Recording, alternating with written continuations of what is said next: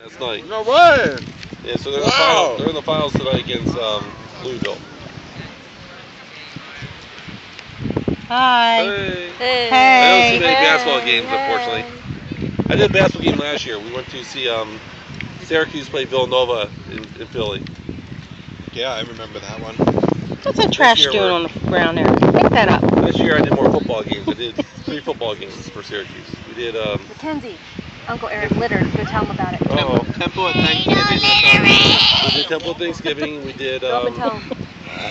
we went up there earlier in the year with Mackenzie. She went to the night game. We watched her play UConn at the Dome, the Syracuse at the Dome. And then we went to the football game at um, Yankee Stadium. Right there by Really? his Saw foot. play at Yankee Stadium, the bowl game against uh, West Virginia. Oh my gosh. It was snowing. Neat.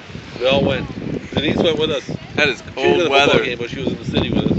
Girls in the city hotel room and met up with our Good friends, for and she brought her girls Yeah. over. We had a dinner Uh-huh. and came back. The girls Room wanted room service, so we ordered hot chocolate. Oh, that time, yeah. I saw those Yeah, photos. we saw those kind photos. Revolving door action. Yeah, Times Square. That was funny.